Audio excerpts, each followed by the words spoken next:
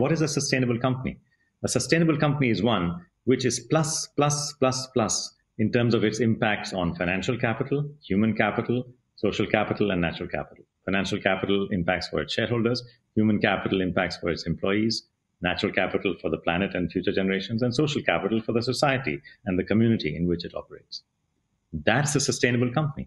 And to have that, we need a completely different kind of system for measuring and rewarding performance. And that's the change that we need in society, a very important change.